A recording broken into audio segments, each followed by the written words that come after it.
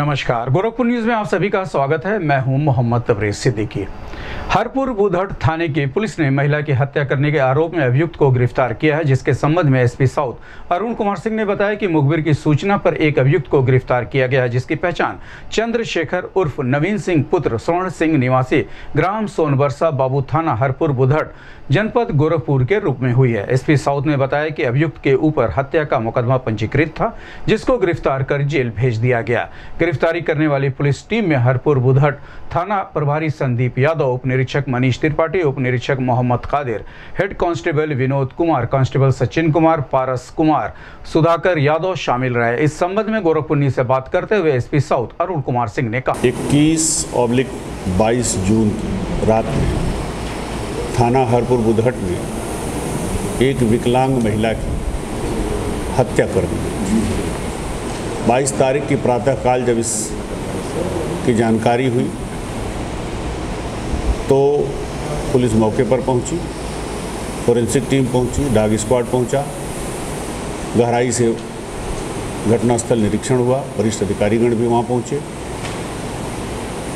और मृतका के भाई जो अपने ससुराल में रहते थे, इकलौते भाई हैं, वो आए और उन्होंने एक तहरीर दिया जिसमें उन्होंने गाँव के ही एक शराबी प्रवृत्ति के व्यक्ति को नामजद किया था।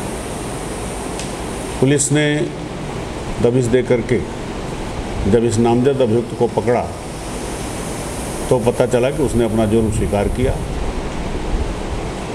महिला से उसकी काफ़ी निकटता थी कई वर्षों से।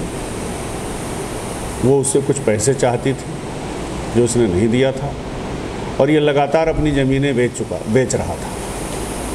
जिसकी वजह से उसने कहा कि ज़मीनें बेच करके दूसरों को देते रहते हो। अब मैं इस बात को पूरे गाँव में प्रचारित करूँगा। परिणामतः उस हार्ट टॉक्स में विकलांग महिला की शरीर, शारीरिक कमज़ोरी का लाभ उठा करके इसने उसी की स्टिक जिसके सहारे वो चलती थी उससे सर पर वार किया जिससे वो लहूलुहान हो गई और एक दो बार और करके उसने पूरी तरह से उसे खून से लथपथ कर दिया और महिला की मौत हो गई। सवेरे भी ये हमदर्द बन करके वहाँ था, लेकिन जैसे ही डाग स्क्वाड की पता चला कि आ रही है तो डाग स्क्वाड के आने की सूचना पर ये वहाँ से खिसक गया कि डाग उसे कहीं पकड़ ले और यही फिर राज खुल जाएगा। लेकिन अपराध छिपता नहीं है। कहीं ना कहीं कोई ना कोई एविडेंस मिलता है और इसी आधार पे सभी गाँव के अधिकांश लोग और वादी ने इस पे जो आशंका व्यक्त की थी, पुलिस ने पकड़ा और इस घटना का खुलासा हुआ है। इसे न्यायिक अभिरक्षा में जेल भेजने के लिए माननीय न्यायालय के समक्ष प्रस्तुत करने के लिए विवेचक लेकर के जा रहे हैं।